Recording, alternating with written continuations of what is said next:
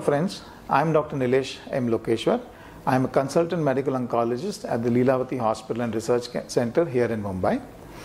Uh, I have done my training in medical oncology from the Tata Memorial Hospital and I've done my DM in medical oncology from the All India Institute of Medical Sciences. My special areas of interest include breast cancer, lung cancer, and gastrointestinal cancers. I'm here today to talk to you about the recent changes and advances that have occurred in the field of breast cancer. What we have noticed that in the last few years, there has been a substantial increase in the number of breast cancer. And this is also worrisome because a significant proportion of breast cancer is now being seen in younger women.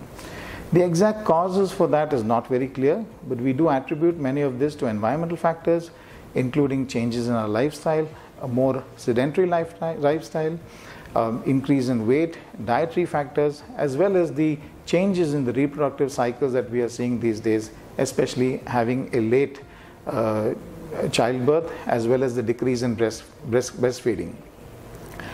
Um, we have understood or we have tried to understand breast cancer at a molecular level and we now understand that breast cancer is not the same in all patients. There are three or four different types of clinical presentations of breast cancer. The most common one is those patients who have breast cancer where the tumor cells secrete uh, a receptor known as the ER or the PR receptor and these are patients known as the hormone positive breast cancers.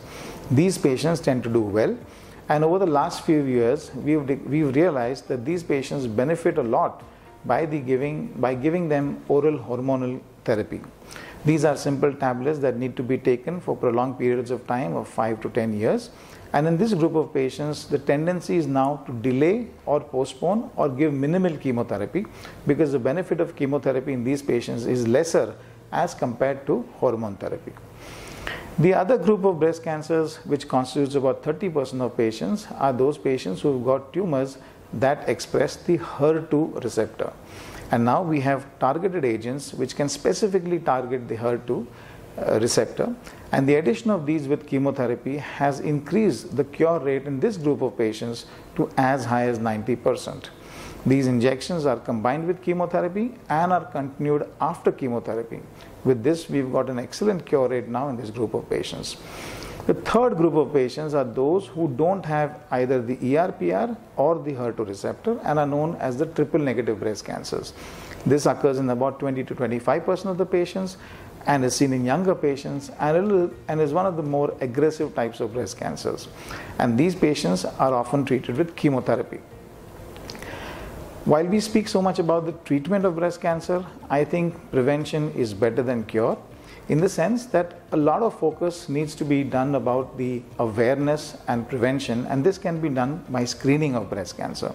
Fortunately, breast cancer is a disease that can be screened and diagnosed early. There are three different types of screening procedures. The most effective, which I believe, is self breast examination. Every woman must be taught self breast examination, which should be done once a month. And, this, and, and, the, and the woman needs to examine the breast to see for any changes, any lumps, and bring it to the notice of their primary care physicians or their surgeons, and then get treated appropriately if it is diagnosed to be breast cancer. Another uh, way of screening breast cancer is by regular visits to your physician or your gynecologist who can examine you and find out if you have a lump that is significant. A third important type of screening is mammography. That's an annual mammographic screening.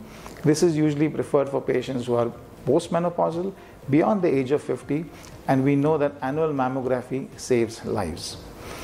So this is in my, in summary, my uh, talk to you regarding the recent advances in breast cancer and the importance of screening procedures. Thank you all very much. Stay healthy and stay safe.